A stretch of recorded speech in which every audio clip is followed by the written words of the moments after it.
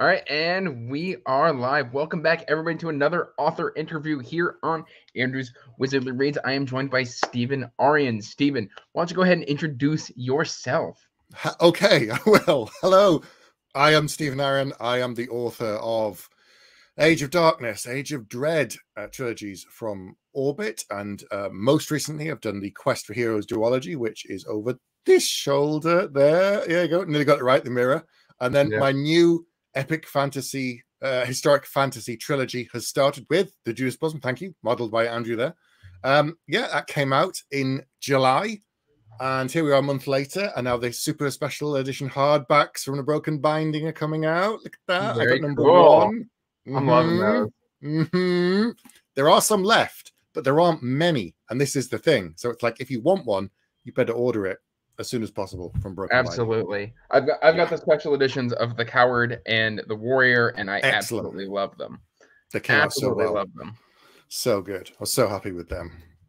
Yeah, most people don't know this is actually our second interview uh, that we've done. Uh, the first one was done on Keymark Discord uh, back when it was the Oasis. Yes, that's right. That's yeah, right. was, was that was last year? Was that last year? I don't know. Or the year before? I, I, don't know. Time and is an illusion, and ever since 2021, time means nothing. There's before and there's after, and then there's yeah, a bit in between when no one remembers. It's all just run together. Before we get too much further, I have in the description box down below linked the Amazon landing page for Stephen's books, where you can get the Age of Darkness, you can get the Judas Blossom, you can get the Coward and the Warrior, that wonderful duology, mm-hmm. And yeah. uh, I forget what the other trilogy is called, but there's nine books that you can check out. Yeah, yeah, there you go. You're fine. There's, pl- there's plenty to read. Like yeah, there's plenty to read. So far, I am I'm still in the middle of Blood Mage. Uh, mm-hmm. So uh, I'm I'm enjoying Blood Mage. That's my current read. Um, I'm about forty percent into that one. Mm-hmm.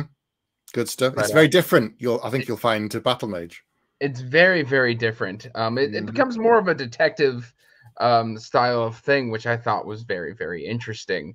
Mm-hmm. Um, but we're here to talk about Judas Blossom. Sure. Specifically, this one, which is based off of Genghis Khan and the Khanates. Yes. How did you land on that time period for uh, your historical fantasy? That is a very good question. Um, mm, I had an interest in Mongols and Mongolia and, and empires, and I started digging around and doing some research. I'd watched some stuff on TV as well, like the Marco Polo TV series, which was on Netflix for two seasons, and a, a sort of movie as well. It was great. Um, really enjoyed it. But all of these stories, hi everyone, all these stories focus on the Mongols, who are the conquerors and who won, and it's their story. And given that I have, you know, Persian heritage, I wanted to do a story set in that part of the world, and there isn't any in terms of fantasy.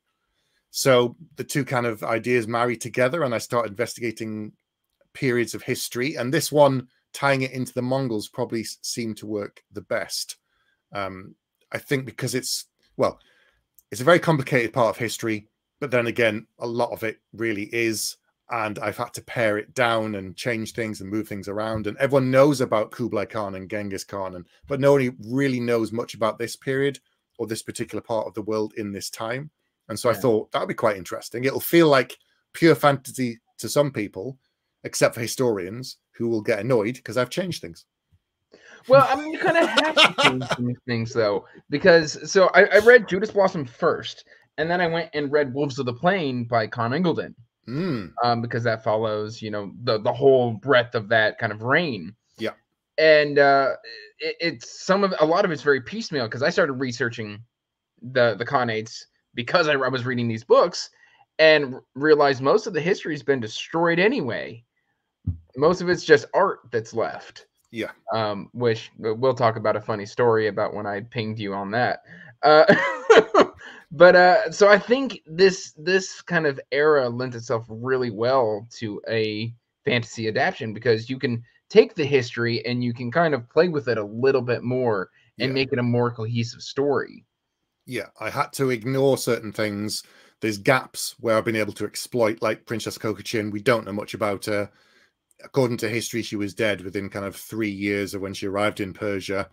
And that's kind of it. And I'm like, well, that sounds like a bit of a, you know, a bad end to her story. There's not much there to tell. The fact that she traveled for two years with Marco Polo, because it's in his books, Mhm. to get to Persia. And then when she gets there, the person she's going to marry is dead. So she marries his son, as you do, you know.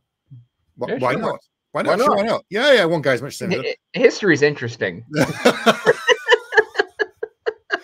I just thought, yeah, I could start introducing things. I can start um, adding new fantastical things, and the all of the main tentpole events in Judas Blossom are true in terms of history. But who was there and exactly when it happened and what happened, I've changed a bit. By the time you get to book two, we're kind of steering off the road a bit more. And we get to book three, we're way off in the distance. Historians will have a proper hissy fit because it's going to be radically. If you've read the end of book one, you're like, wait, what? And then there's a lot more of that in two and three. And that's just, that's not history. That's, that's pure fiction. That's pure fantasy. So yeah, two and three are just going to be quite, quite a lot more of my own stuff. Yeah. So, do do you enjoy of keep just kind of running off and doing your own thing with it? I did enjoy that. Like, just a snatch and grab. This is mine now. Ah, I can do what I want now. You can't stop. It's fiction. It's fiction. And if something goes wrong, wizard did it. There are no wizards. Meh, let's say there was. or if I, get, if I get a detail wrong, it was a wizard. But at the end of the day, I'm, I'm telling a good story. I'm not doing pure historical fiction. I'm, I wanted to bring some fantasy in. I wanted to be able to play with things. Um, you know, people like Conn Iggulden, who you meant, you mentioned, he's done really good retellings as best as he can up to a point, and then he's made stuff up. But there's no, you know, fantasy in his. So, or less, less fantasy. You know. Yeah, well, yeah, that, that that's fair. Um, yeah, I mean, I gotta I gotta tell you, like, it was funny because I read this. Oh, let's see, I got my arc. I think in like January. Like it was, I got my arc Really? early. Um, and I read it and I I fell in love with it. And I was just like, oh god, am I gonna have to do a reread for this interview? And I literally just picked up the back of the book. I read three names and all of it snapped right back. So your That's good. story has staying power. I really Oh, that's think good, that's good. I think this is your best one yet, and I would love. Oh wow. I remember raving about the coward. Um, this one knocked my socks off. I Thank had you. Thank you. such an enjoyable time because you do some kind of interesting stuff with character arcs. You know, Temujin, which hmm I didn't catch that until I read Conn Iggulden's books because I, I just like, oh, Genghis Khan is Genghis Khan. Okay, Nope. no, no, That's not his real name. No. that's not his real name. No. I didn't know that. uh, but his his character arc and the way that his story goes, I didn't see it coming from the very beginning. Mm, Uh, and how that trajectory is fascinating. And then Huglu and Kokochin mhm. and uh, Kaivan is, is- Mhm. did I say that right? Kaivan, Cave, cave on, yeah. Kaivan. But Yeah. the way that they all weave together, it kind of weaves seamlessly. And uh, I'm, I figure in a fantasy book, it's a lot easier to make those storylines work for you because it's all on mostly your time schedule. But Mhm. do you have any difficulty making them all engaging and intriguing and interesting? Endlessly difficult, yeah. Um, because even though I'm not doing a historical retelling, there are certain events that I still have to touch. Mhm. So it's almost like those those slalom skiers that are going downhill between the flags. I'm I'm kind of doing that with the story, and every now and then I've veered too far off course, and I'm like, oh god, I've really got to somehow angle it right back so I can hit that big event, and then eh, back to that. Uh, but getting them all to tie together at the same time was it's the most challenging book I've ever written. It's the most difficult one, the most complicated. Two and three were not they were a little bit easier because I wasn't as tied into history as with the Judas Blossom, but it was just such an effort to kind of get it all to work and to balance out as well. Um, and I think in, in in the first after the first couple of drafts, I gave it to my agent and my editor, and they said this bit there's too much of this or this bit slow down, so we had to work on pacing and you know, oh, you said we haven't come back to these other characters, the 12. We need to know what's going on with them in this bit. And I'm like, oh, yeah, you're right. So I had to kind of, so it, it was a lot of back and forth. Um, but once I'd got that balance right, I think the rest of the story sort of works quite well with the characters, the arcs sort of naturally progress at a certain pace after that. So would you say that this one was probably the most work for you to write? Yeah, because so a couple of months ago, I was trying to get a character from point A to point B. I'm 80% of the way through writing book three at the moment. Okay. So I, my, my deadline's Christmas. I'll be finished before then. Um, but I needed to get a character from point A to point B, and I'm like, right, they can just. I don't know. If it was a fantasy book, I'd be like, they get on a horse. How long does it take? Um, let's say it's four days. That's fine. No one's going to know. There isn't a map, or there is, no one cares. Or dragon, yeah, two hours. Or teleporting a wizard, five seconds. It's Deus Ex Machina. Yeah, whereas this is like, how did they get there from there to there? Um, I don't know. Could they get a ship? Maybe. Where would they sail from? I don't know. So it took me two hours to get the answer for like a tiny paragraph. And when you're reading it, you'll be like, yep, fine, carry on and move it. You probably just skip past that detail. That took me two hours to go back and read that again, and then again, and then again. I need you to spend at least an hour reading one at paragraph. Least an hour minimum for what took me an hour and a half to two hours. So yeah, just things like that. Or I go, oh no, they descend into the valley, and it looks like I don't know what it looks like. I've never been to this part of the world. Right, what kind of plants would there be? What kind of trees? I don't know. Mm. So I just had to go and find that. So I'm constantly writing a bit, and I stop, go and do some research, do the next bit, stop, do the next bit. So it's hmm. Yeah, that has slowed me down. That has made it the most challenging as well. Well, I mean, it, it's worked out well for you. At least, at least in the Judas Blossom, I will give it a. I mean, I did give it a glowing review. Um, I, am I'm, I'm right up in. You're here. in the book. You're in. The yeah, I'm well. in the book. I'm right there. There you go. You see. Which incredibly honored. Thank you so much. My pleasure. Um, Thank you for the good review. Oh, I loved this book.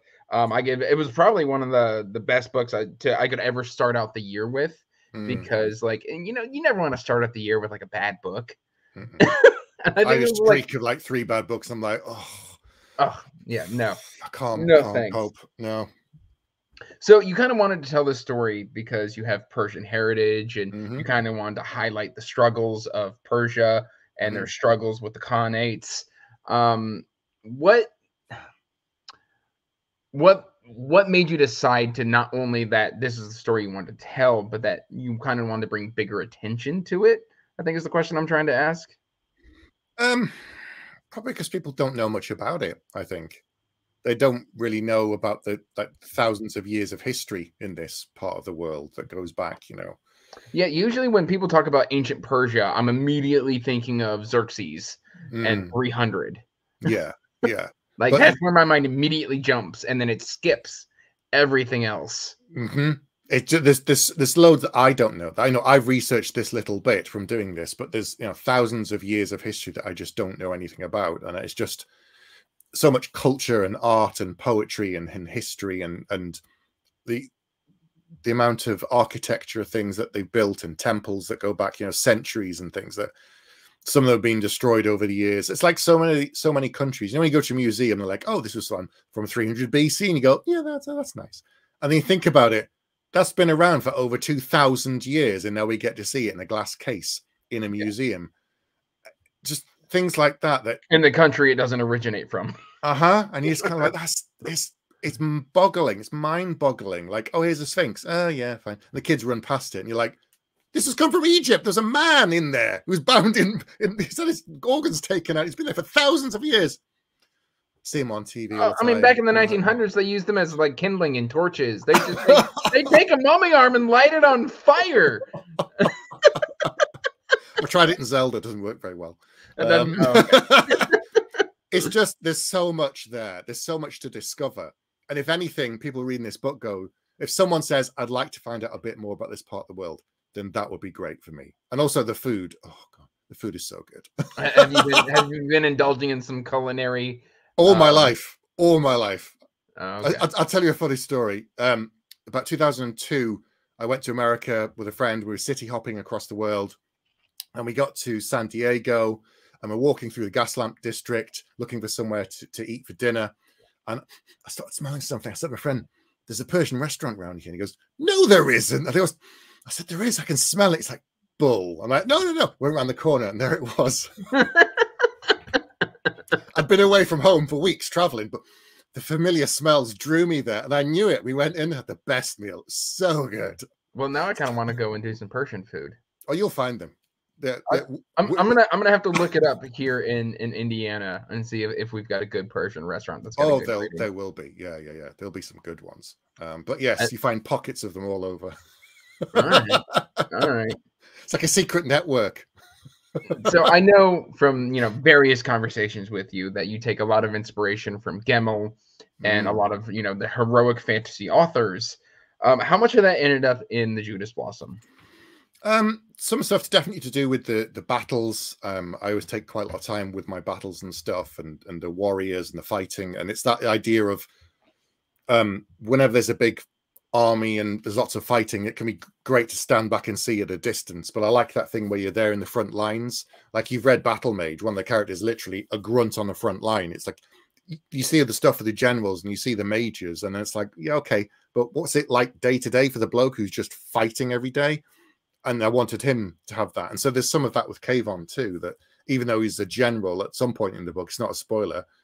Um, Hulagu says, Right, you're going to go and fight now with the men. You're going to go and do that. He's like, Really? I'm going to go out and run up the wall and try and kill all these people. He's like, Yep. So I wanted it to be in your face and right there and put the reader on the front line. Um, and that's what Gemmell did. That's very much what his kind of characters were. They Oh were yeah, like, Druss would always be in the thick of it. "Mhm, Um, Waylander's always just you know he's not sending people to do his dirty work for him. He's No. the one doing the dirty work. yeah, he's the assassin. He's the kind of killer. Um, but I, all of so long before anyone coined the phrase grimdark, characters were essentially grey morals and grey questionable duties. David Gemmell was doing it in the 90s. And other this is the thing, other people did it before him, decades before, and it was called something else. It just wasn't called grimdark until probably Lord Grimdark himself, Joe Abercrombie. Uh, Um, the, the, the coin came from Warhammer 40k. All right, there you go. See, Yeah, they just started calling Joe, you know, Lord, Grimdark. Grimdark. but yeah, Gemmell was doing it, and I, I brought that some of that to these characters too, because some people said none of them are really kind of white hats or, or black hats. They're all fairly quite grey, and they all do questionable things in the pursuit of their goals, which I think is true, whether it's it's Hulagu or, or Kaivan. And I, I think that is necessary and needed in this book, though, because there is so much. I mean, the atrocities that Hugalu is performing, Mhm. and like, I mean, quite literally, he'll walk up to a city and say, "Surrender." If you say no, you had your chance, Yep. and it's just you're gone. that, that um, was what he was like. Yeah, he was a yeah, maniac. and- I've toned it down. Remember, this is the thing. Everything in the book has been toned down. My editor was like, "Oh man, that's terrible." I'm like, "Yeah, but I've still toned it down from what they actually did." well, yeah, a, a lot of people.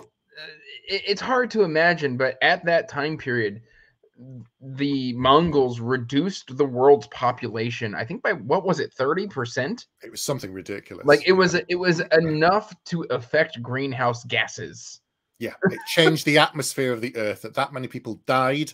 The amount of people breathing oxygen was so much different that the atmosphere was better. Um, I, I I was doing research because your book made me want to know more about this time period, Excellent. and they were saying that like areas, and I think it's Persia. Mhm. um, but areas hadn't recovered the population until the mid 2000s from what the from what um, the Khanates did in those areas. Mhm. Like it was such a decimation of population that Mhm. it literally took hundreds of years to recover the population just Yeah. to match the population numbers from that time period.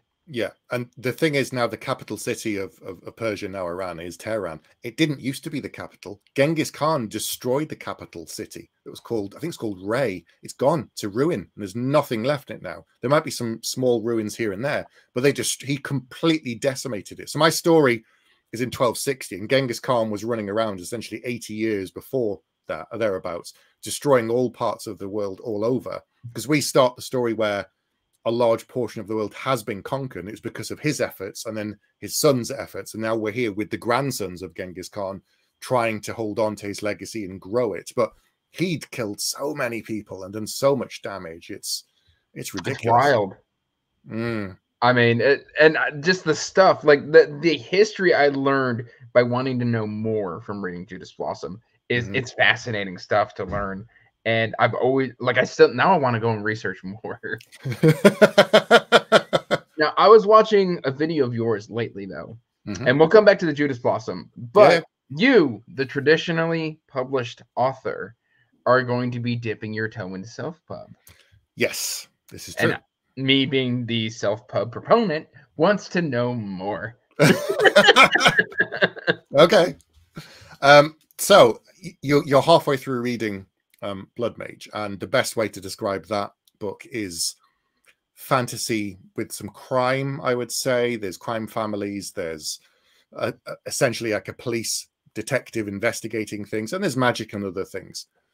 And the book scratched the itch for a while, but not completely. So this new thing that I've written, it's done. It's it's quite short. It's forty two thousand words. Now, according to the rules of the Hugos, a novel is anything above 40,000 mm-hmm. words. And I'm I'm probably I'm still calling it a novella because it's a very short, you know, book if it was. And I wanted to do something similar again to Blood Mage in a certain way. Um, so we're describing it's being described as fantasy noir, I would say. Okay. It's first person as well, which I haven't done before. Now I've written it before, and, and I've got trunk novels that are in first person, but I've never released anything that's first person, so that's new for me. Um, and it's about a guy who's a private investigator involving uh, him and his old friend get together, and they're investigating a missing person. And it's in a fantasy-like setting, I'll say. fantasy like, so like fantasy adjacent. Yeah, let's say that. Yeah. Um, and... I consider like GM GM White's um the Swordsman's Lament and Descent. That's basically fantasy adjacent because mm-hmm. there's like magic in there, but it's just like a quick tip of the hat, and then it's all about fencing. Mm-hmm. So is it something kind of like that? This is so. Have you read any of like low fantasy books where you know it's kind of gritty and grim, and it's not quite grim dark, but like Daniel Polansky's done some low fantasy okay. books where magic is a part of the world, but it's not the main thing, and it's very street level. This is kind of like that. There isn't any magic, but there's something else there. But it's set in a city, and it's about this guy uh, looking for a missing persons case with his friend. Um, it's inspired by lots of different things. It's inspired by my love of PI stories and you know Dresden Files and um, what else? I'm trying to think. Um, Hap and Leonard novels by Joe Lansdale. They they're they're incredible as well and amazing and really short and tight and the, the prose is so punchy. Um, so it's yeah, I wanted to try something. I've got another one in mind, and I think I want to kind of do three of these with these three uh, these two characters. Um, okay. And the second one is going to be a bit. It's going to be different again. It's going to be more like. Do you ever see True Detective season one? I I remember catching bits of it. Second one's going to be more like that, like really okay. creepy, disturbing. There again, these two investigating a crime, but possibly a cult, possibly weird, possibly disturbing. And is it real? Is it magic? Who knows? But yeah, the first one is street level in a city. In well, a if you ever need your protagonist to knock somebody out, feel free to use the name Andrew. I'll know. okay. Sure, I'll sure. Incredibly honored uh, to just get knocked out by one of your protagonists. Right. I mean, Patrick Leo always gets murdered. I don't really want to get murdered. I would just like to get knocked out a time or two. All right. Okay. Okay. Okay. Yeah. yeah. I'm, just gonna, I'm just gonna do with that what you will. Sure. Sure. I can I can swap out a name for someone get knocked out if you want. Um, but yeah, it's it's it's different. So at the, at the moment, uh, people are beta reading it. Um, I'm going to be chronicling my journey on my YouTube channel, talking to uh, experts. I've got a number of friends lined up who are self-published authors and indie authors, and say, I know the basics, the editing stages, and all the rest of it, but then what? How does it work? What do you do? How do you promote the book? Where do you go? You know, how much do you spend on advertising? What's a good rate for a cover? What's a bad rate? All these kind of things. I don't know because I've never done it. So it's going to be an adventure for me to find out, and hopefully other people will learn from any mistakes that I make along the way. So Awesome. So, is part of the reason you're wanting to self pub this is to just experience self pub versus yeah. trad pub? Yeah, I mean, I'm still under contract for, for you know Judas books two and three, and I've got things lined up to pitch to my publisher after that. But I'm going to try and do this alongside um, because you know I still have a day job and I and I do the writing as well. So doing a novel, a full novel, in along with everything else is a bit a bit tricky. But a novella or 45, 50k short novel novella that's possible, I think. Um, so yeah, if this one if this one does well, I definitely want to do the second one. But I've got ideas for other things too. So I'm going to see how it goes with this one. I'm going to chronicle everything, um, and then fingers crossed, see what people think of it. Well, luckily, there's a good indie publisher that you're very very good friends with, Uh, they started putting out their own books. They're called the Broken Binding. Uh, heard of them. I have heard of them before Yeah. somewhere. You've heard of them. In fact, you might have held up a book earlier. Yeah, um, yeah, But yeah, so yeah, Mm, that, that mm, yeah. yeah, maybe. So I don't know. Um, ebook, sure. Audiobook, I don't know because then I don't really know like how does that work? How much does it cost? Where do you go? It's What's- ungodly expensive, from what I understand. See, so like ebook and paperback is probably going to be the thing for, for Um, I've- book. I've known self-pub authors who got covers for five hundred dollars, and Mm. I've known self-pub authors who got covers for thirty-five hundred dollars. wow. Um, which I, I don't know, thirty-five hundred is probably around thirty-two hundred pounds Mm, because the pound's a little bit stronger than the dollar, from what I understand. mm. Um, I well, at least I always pay more dollars for you know. Anyway, whenever I'm shipping overseas, Yeah, yeah, all- yeah. all the time. But um, yeah, and uh, audio. I know some people like uh will do Kickstarters for audio, Mhm. and they'll set the Kickstarting goal at like you know, hey, we need five thousand dollars in order to hire this narrator. So it's it's expensive. Yeah. It's in like I don't know how like I've got two shelves of self pub, and I'm just like, you guys are rock stars because my wife would kill me.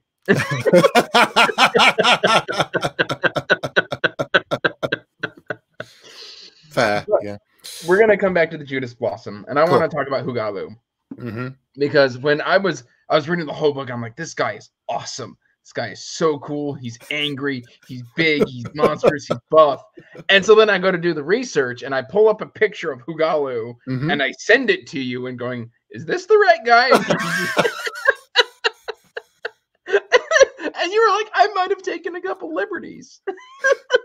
Yeah, yeah. So according to history, um, there's a bit. I think it's in the Juice Blossom actually, where Temujin's talking about his grandfather, his uh, uh, yeah, his great grandfather. Uh, or no, Hulagu's talking talking about his grandfather. Everyone remembers him as a great man, a conqueror, changed the world, but physically quite a small guy. wasn't really massive, you know.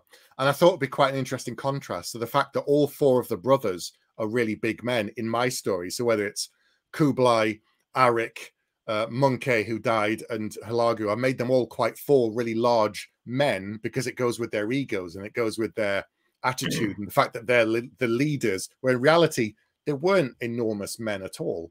They just, you know, they, they weren't really that tall. They were just kind of average. But what they did, you know, is is what made them perhaps bigger than people remember. It's like when, they, when everyone does a painting with someone, they're like, "Can you make me just a little bit, you know, a little bit taller? And can you straighten my nose just a bit? And can you, you know, give me better eyebrow?" And it's just like that. So I've kind of I've tweaked some of the things in I, history. I think what got me the most was his feet. Um, they were they're just these tiny little triangles, and I was just I was like, "Oh, Hugalu, oh no." Great character read, fantastic. I love the. I prefer the way you portrayed him versus the historical painting did because I've been laughing about it for months. yeah.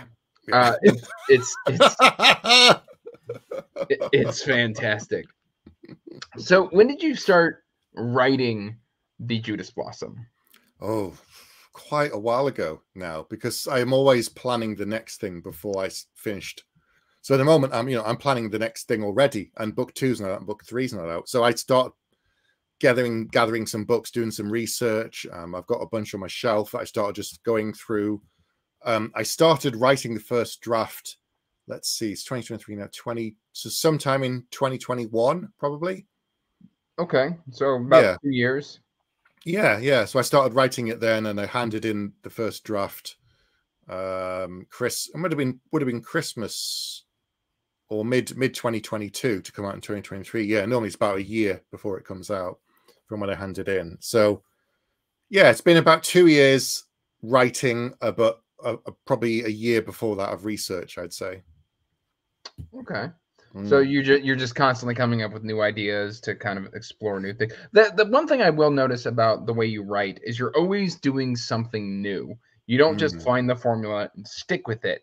Um, like when I read Battle Mage, that was big and bombastic and battlefields, And so I figured, figured. How'd you go bigger than a world war, Andrew?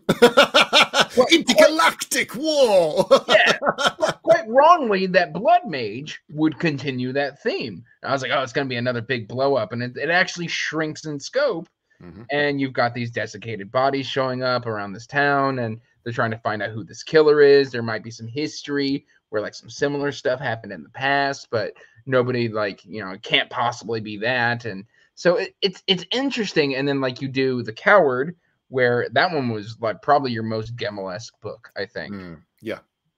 And uh, you've kind of got like heroic fantasy, and then you kind of go different in the warrior and then you go historical fantasy so you're very broad in your writing and i really like that because it means you're never going to get stale i don't want to ever ever repeat myself like so wait till you get to chaos mage so the yeah the first trilogy battle mage is a war book blood mage is a crime and police book chaos mage is a post-apocalyptic horror novel really set on a city on the edge of the world and it ties things together from one and two characters and ripples and threads I pull through into Chaos Mage. So that's that, that's different again. So when you get to Chaos Mage, you'll be like, okay, what the? There's there's lots of nods to little films and things in there. I'll tell you once you're done. Um, so I I never want to repeat myself. On my second trilogy, it's one huge story cut into three.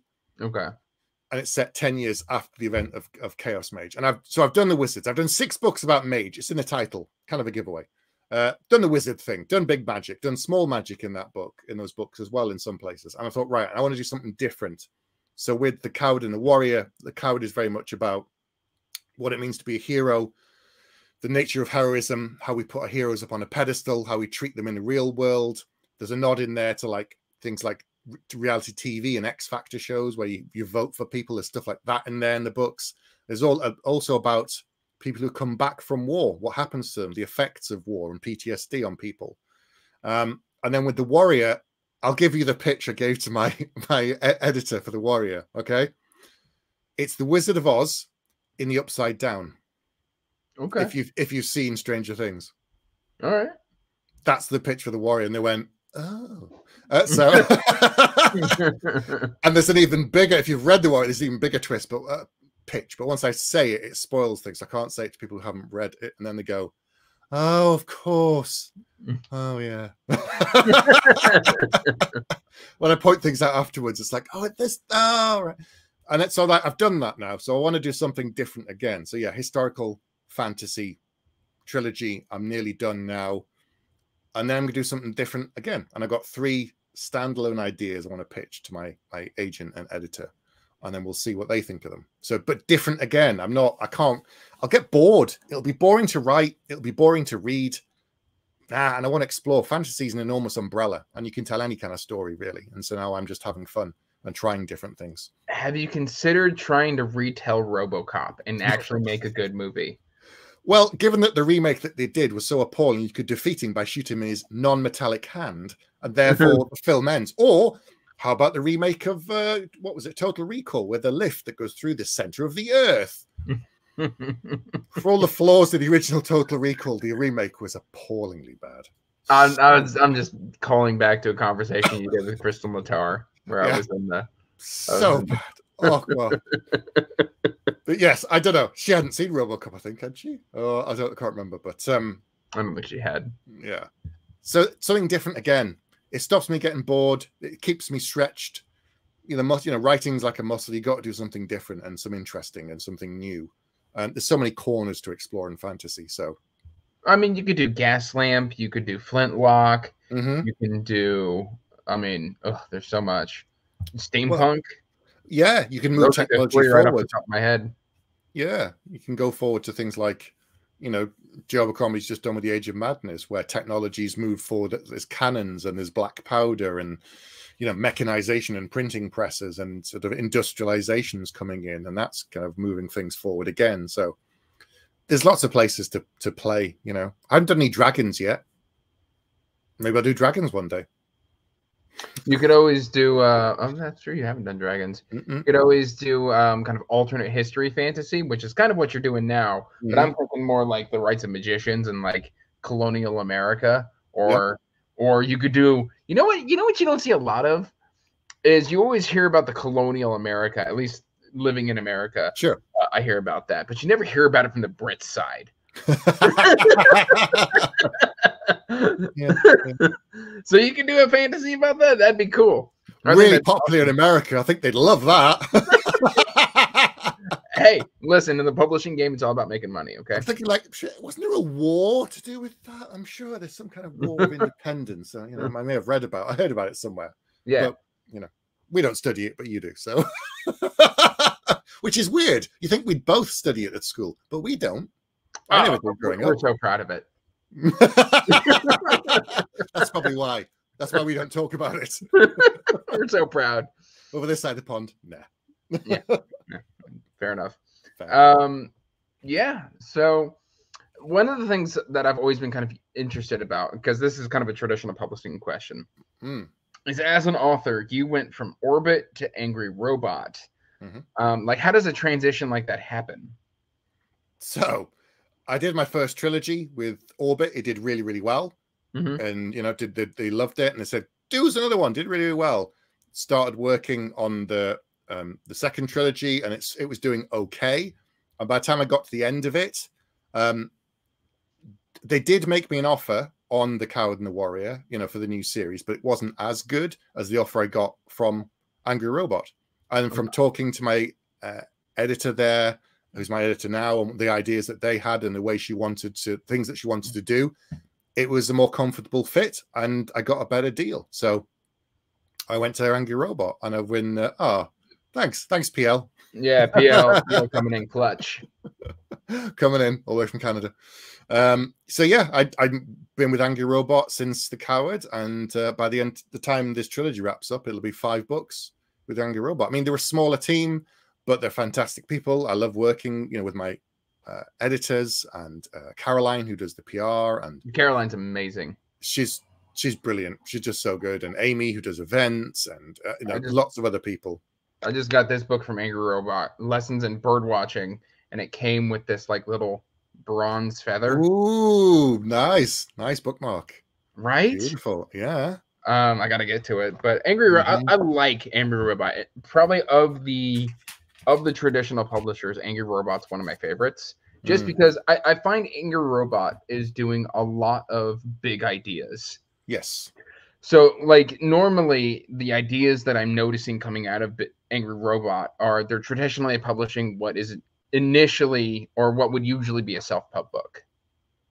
So, like those kind of big ideas that most of traditional publishing isn't willing to take the chance on. Yeah. I'm seeing that come out of Angry Robot. A little Yeah. bit out of Orbit, but not as much.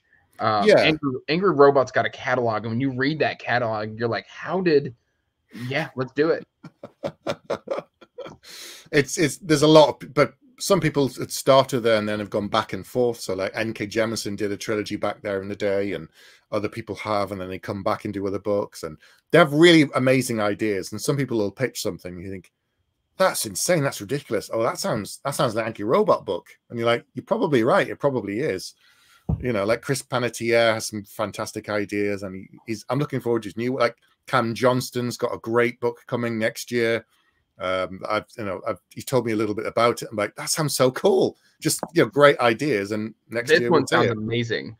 yeah, yeah. Blade Priest, yeah, Leslie, Leslie, the, the nerdy narrative. Um, Yeah. She uh, she read that one and got me to got me to put it put it in my shopping cart. hmm yeah. I think they have fantastic authors with some brilliant ideas that they come in with, and people will will will try, you know, and see what happens with some great stuff.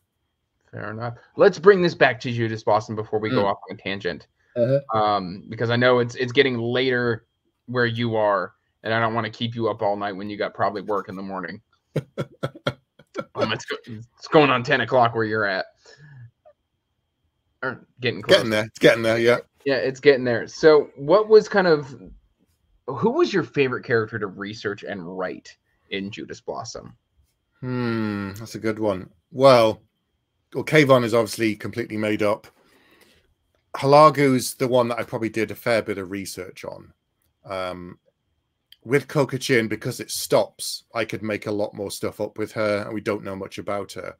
So I think where I had more creativity, that was more fun to write for me. It was slightly less restrictive because if you do like work for hire, like if you go and work for Marvel and you say, right, go and write Captain America book or, or comic, and you're like, these are the kind of guidelines you have to work within. It felt a bit like that at times with Hulagu and some of the other things, especially events. So when I got to do Temujin, who's completely made up, you know, Hulagu had lots and lots of sons and daughters, but he didn't have one called Temujin. Um, well, so I mean, that's the, Genghis Khan's name, so yeah, yeah. yeah. Um, you would think like, maybe he named him this when high hopes that he would live up to the name, but like mm-hmm. Temujin's like his least favorite son. yeah, yeah, really just doesn't doesn't do much at all. And like you know, Jumgur is completely insane. He's like a version of Jayne Cobb from Firefly with a really bad temper and a massive axe who likes chopping up people. Um, you know, so so I think I had more fun writing the characters that I got to play around with more because I didn't I wasn't as worried about history as much and thinking I can't I can't you know do too much with this one or change it too much because they have to hit certain things in history points that I need for this story. So every time I moved something, it created a ripple effect. Mm-hmm. So in the editing process in the first one, it's like, can you change this? I'm like, yes, but it'll change this, this, this, this, and this knock on effect. I mean, that happens with every book, but it was tighter with this one because of all the history involved. So difficult. Well, uh, I kind of, I kind of like because you've got a magic system in here that it needs to be rediscovered. Mm-hmm. Um, it's kind of a hidden magical society that has kind of removed all references of to itself except for like a little tidbit here, a little bit tidbit here, and then you got to put the puzzle together, mm-hmm. uh, and then you're gonna kind of wish that you hadn't solved the puzzle. uh, oh yeah, uh, and I kind of like that. I a I didn't know that Temujin uh, was made up mm. because for some reason I just immediately associated it with Genghis Khan. Mm-hmm. So I was just like, oh, cool. Like I there was a there was cool. cool. Like I didn't even question it. No, so. see, good, good, yeah, yeah. I was just like, oh yeah, cool. There's two of them. I didn't know that. Yeah. But I kind of like Kaivan because he's, you know, he's from a conquered nation. He's mm. been, you know, his he's tried he's tried the resistance route. It didn't work well well for him. So he's like, well, if I can't beat him, maybe I'll join him. And if I join him, maybe I can beat him. Mm-hmm. And that's like his whole shtick. And I love, I, I just I loved it because you've got this a you've got this secret council of Persians, mm-hmm. and they're trying to like push back as any way they possibly can. And then you've kind of got Kaivan doing his thing without telling them about it. Yep. And it's just it's great watching all of that happen and the way the web kind of connects. Mm. That I'm so excited to see where the rest of the trilogy goes. Mm. Yes, there's there's more overlaps. There's more things that are connected. By the end of the first book, if, if there's lots of things that are kind of falling into place. Characters have changed quite a lot. All of them, I think, by the end of that first book. Um, oh yeah, Temujin's completely different. He went from fat, out of shape, to like warrior monk. Mm-hmm. And you know, Kaivan from a guy with no hope, uh, ready to kind of basically kill himself or just give it give up his life in a suicide attack, even though he knows it's pointless to well, maybe I can do something. Maybe there is hope in a different way. Um, yeah, and then there's the secret societies. There's there's lots of different things creeping around the edges, and there's there's more to come because there's a bit at the end of the, of the first book which you've read where something happens and you're like, oh no, that's that's that can't be good. That can't be good. And there's more of that to come in the second and third book. So as you say, you keep you go searching for an answer, and when the answer finds you, it's not always a good thing, is it? No, it's not always a good thing. now, before we went live, you mentioned that there's an audiobook coming out. Or it is, is it already out? It's out, yeah. It's, it's, it's out now. Mm-hmm. Now, who mm-hmm. is who is the narrator and why is it cool? Because so, you were telling me about this, and I, I, started geeking out, and I don't even know who it is. So the uh, I wanted to have um, a Persian narrator, if possible, for the audiobook, and a Persian artist for the cover. We couldn't get one for the cover, but there what there is some artwork in the book in the um, the super special edition slipcase that uses the artwork from the Persian uh, artist. And the narrator is uh, a lady who was born in uh, Iran as like me, but she came to England when she was a baby too. And her name is uh, Mitra Jalili. and she's an actress, and she's been in things like Ted Lasso and lots of TV and stuff as well. And her cousin in the UK is uh, Omid Djalili, who's a um, stand-up comedian of Persian descent too. So he's been here, you know, his entire life too. And if you see him, you'll probably recognize him. Um, but um, yeah, so remember I said there's like a Persian whisper network everywhere. Yeah, there is. I was talking to my dad and I'd mentioned who the narrator was, and he goes, "Oh yeah, that's uh, that's Omid's cousin." I'm like, "No, it's not." I said, "It's just the same name." He's like, "No, it is. Check it out." I'm like, what? "So I went and googled it." And I'm like, "Yeah, it is. It is." It is. And he just had that information ready to drop on you. Yeah, he just knew. They're like Persian actresses and actors are everywhere. Like, um, have you seen The Expanse? Any yeah. of, the, of the show? Uh, so Avasarala, Shohreh Aghdashloo, she's Iranian.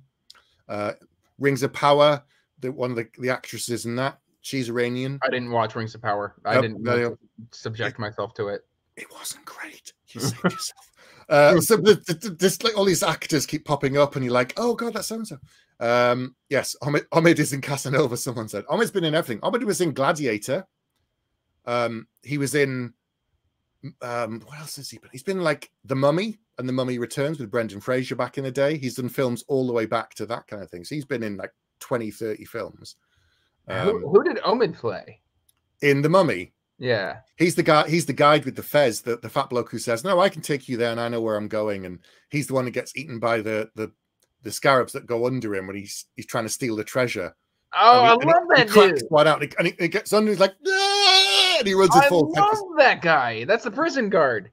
Mm-hmm. Yeah, and in yeah, and in Gladiator, he's the um the guy who's the the slaver because he sell. He says, um, Oliver Reed's character says, "You sold me queer giraffes. I want my money back." he's like, "No, no, I won't." And it's the same guy. He's been into. so yeah, he's been in film and TV for like thirty years at this point. Okay. But, uh, Mm-hmm. So I, told you, the Persian Whisper Network is everywhere. That's very cool. The Mummy I, is honestly one of my favorite movies growing up. Mm-hmm. It's like it, it, in the top ten. I love that movie. It's so good. It's uh, so uh, the, good. the comedic timing on that movie is next level. Like everybody just has amazing chemistry on screen, even if even if they don't off screen. I don't know, mm-hmm. but I mean, everybody was hitting their lines on point. It was funny um, I, I, I love it's so movie. good. I love that film. It's so good. It is a. It, that's why I was so mad when they rebooted it. Mm-hmm. I was just like, no, no, like he's back. Bring just, just bring fix it. That never happened. Mm-hmm. Let's bring Brendan Fraser back for one yeah. last hurrah. It'll probably be awful. I don't care. Like, we want to see it happen anyway. You know. Yeah, I, would be more than happy to go to the movie theater, which I never go to the theater anymore. Mm. Um, to, to watch a, a movie with mm. Brendan Fraser. But you know, I, I thought it'd be good. I thought it'd be nice to have a Persian narrator. She knows the names, she knows the places, she can pronounce them all absolutely perfect. We talked beforehand. Um, and yeah, so Mitra has done the audiobook and it's it's out already, and um, she'll be, you know, working on two and three as well in due course. Very cool. Very cool. Have you listened to the audiobook? I've listened to some of it. Yes, I I was sent samples of a bunch and I picked, you know, and and she and she was one of the ones I picked. Um, but yes, I've listened to bits of it, not the whole thing, because I'm like, I'm not sure I'll listen to all of my book again. Uh, Why not? Yeah. Well, maybe, maybe one day. I've never done that. I don't. I, I struggle with audiobooks actually. Um, so, what what when writing like your sequels and stuff like that, how do you remind yourself of specific plot points that you need to continue through? A lot of charts, a lot of notes. Um, I go back and reference the book sometimes and be like, "Ooh," uh, and I have to go back and check things as well. So, okay, yeah, it's not it's not always easy with with trilogies. Yes, it takes work sometimes, constantly. And there's a lot of names in this book. So in the back of the paperback, there's a list of names of characters as well that tells you a little bit about who some of them are. Um, that gives you a bit more info. Oh, there is. hey, look. Hey, look, it's right there. the proof is in the pudding. Yeah, so it'll tell you like who some of the characters are, give you a reminder. Um, and uh, I think for book two, I'm going to do a previously on the Judas Blossom so that if someone has been a year since they read book one, there'll be Honestly. I love when an author does that. It, it's so helpful because. I, I remember I would say I remember ninety percent of the broad strokes in this book. Um, some of the finer details are lost to me. Mhm. Um, so in a year's time, you'll be like, uh, so honestly, it's I'll probably complicated book. There's a lot it. of things. Okay, that's fine too. Control F in the pre. Oh, Control Find. Yes. True. If I'm looking for something and I'm like, I'm not quite sure, I can, yeah, you can do that and you can find it. It's the best way to do it. Yeah. But, Yes, yeah. Books Yeah. and Chocoholic is absolutely correct. Previously, is just it's it's it's necessary. for this series because it's so complicated i think i think it will um yes character lists and a map. So there is a map as well which is in is in um but it's in the paperback too and the hardback which we both got. Uh where, where is it? Oh, you got it? There you go. Yes there you go. So that's the map of the world and the four khanates. You can see the ilkhanate the chagatai the golden horde and the empire of the great khan which is where kublai ruled at the same period. So you get a bit of idea when they're moving around and it mentions certain cities and certain places um, you'll be able to look at the map and go oh that's where it is i From wonder the- if you can get a boat from there to there from the historical note. Are you? That's a good callback. Uh, um, are you going to uh, explore the kind of tension and the open warfare between Kublai and his brother? Yes. So uh, it's part of history in the Mongol Empire during this period. There are a lot of civil wars. There was one between Kublai and his brother. There's another one later on in history that's between Kublai and Kaidu, who was someone else who challenged his authority. There was civil wars in other the other Khanates as well. So all of this will feed into the story. The story still remains focused on the Ilkhanate, and we'll hear what happens in the other places and the repercussions it'll have on, on the story that I'm telling. So it's not that we will go over there and see the wars, but th- the empire is still connected in some ways. Like if he suddenly wants troops and Kublai is having another war, he's not going to be sending, you know, 100,000 soldiers to help fight because they can't. So, yeah, it's going to be complicated. Hey, hello. Hey, Palmer. um, so uh, we're we're kind of getting closer to the end. I kind of want to talk about like big, uh, not big.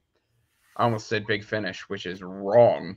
It- it's UK based, but wrong Oh, company. The, the audio, um, uh, Doctor, Doctor Who. Who's, yeah. Yeah, Uh. Great. yeah, no. Uh, my brain went somewhere it wasn't supposed to. Mm. Um, let me wrestle that back in. Okay, Broken Binding. Yes. So how how did that relationship develop, and how you know you've got these special editions, and you're signed and lettered and numbered. I know Mm. you, David Ragg, and a bunch of like local authors are really kind of close knit with the Broken Binding. How has that relationship been for you? It's been really, really good. Yeah, I've known I've known the people who who run it for the last almost since the beginning. Really, um, I I sort of I'm fairly local to them in terms of where they are in the UK. And initially, when they started out, they were doing signed book plates. They said, you know, can we send you some book plates and you sign them, and then we'll sell the books. And we did that with uh, some of my mage books.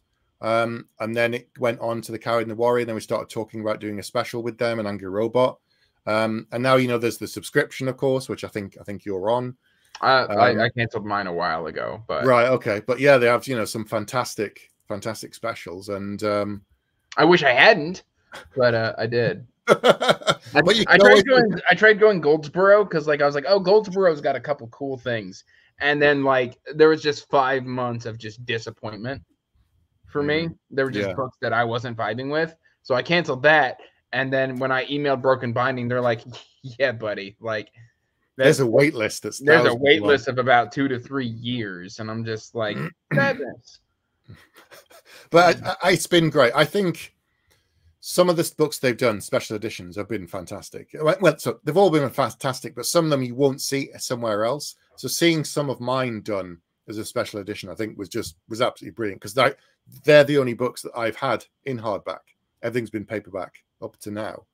Um, so seeing it in hardback is fantastic, and the artwork that they do, and you know, it's just even the end papers and everything, it's brilliant. And sprayed edges. Look at the sprayed edges on those suckers. At I. I want to know how they do that. Digitally sprayed. It's amazing. So but good. so like they stick it in a machine and it like mm-hmm. does it I mean- like print? Yeah, yeah. Because you've got the Carrot and the Warrior. They've they've taken a slice of the map and Mhm. then put it on the sprayed edges on there. I mean, it's just. I mean, look at the end. Well, he's doing that. I'll show the end papers, everybody. Look, look at that. Ah, so come here. good. There we So go. so good. So in the in Oh. the ca- there's the coward. That's that's a portion of the map that's in the book as well with the figure and and stuff from the front. Seeing they're blowing it up, it just looks so. They're amazing. They're so so good. Um, and they've I got some great editions. ones coming up. Yeah, look at that. And you you've got them wrapped in plastic as well, haven't you, to protect them? Yeah. I should start doing that with them as well. They're so shiny now. You you think I'm gonna spend that much money and not do that?